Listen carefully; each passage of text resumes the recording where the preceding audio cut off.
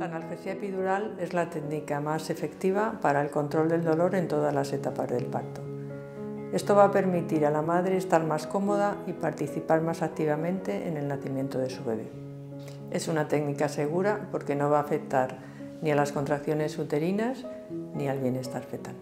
Además, esta técnica tiene la ventaja de que en caso de que se indique una cesárea no va a requerir que realicemos una anestesia general.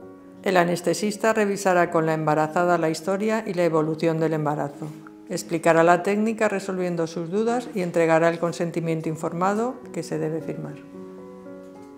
Esta técnica permite bloquear de forma temporal las terminaciones nerviosas que llegan desde el útero y el canal del parto. Durante todo el proceso, la madre y el bebé van a estar monitorizados. Siempre vamos a realizar la técnica en condiciones de esterilidad. El procedimiento se lleva a cabo generalmente con la paciente sentada. En primer lugar, localizamos el espacio epidural a nivel lumbar y a continuación administramos anestesia local en la zona de punción.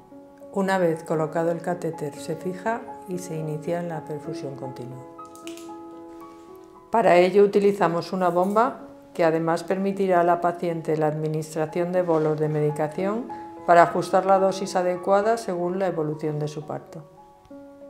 Los anestesistas somos los responsables de la indicación y la realización de la analgesia epidural y estaremos disponibles durante toda la evolución del parto.